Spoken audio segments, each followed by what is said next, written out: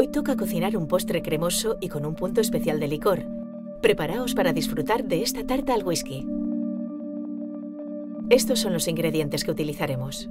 4 yemas de huevo, 100 gramos de azúcar, 80 mililitros de leche, 5 hojas de gelatina, 40 mililitros de whisky, 600 mililitros de nata líquida, una base de bizcocho. Empezamos poniendo en remojo las hojas de gelatina con un poco de leche.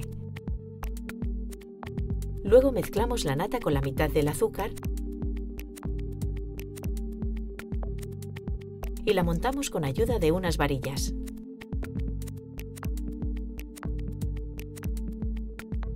Introducimos en la cubeta la leche, las yemas de huevo y el azúcar restante.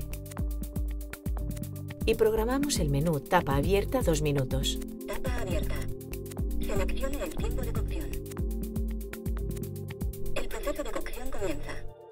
Cuando la mezcla empieza a calentarse, le añadimos el whisky y la gelatina. Removemos bien con la espátula de Chef Plus y lo dejamos enfriar un poco dentro de la cubeta. Antes de que se enfríe del todo, agregamos la nata montada. Luego ponemos la base de bizcocho en un molde. Y encima ponemos el contenido de la cubeta.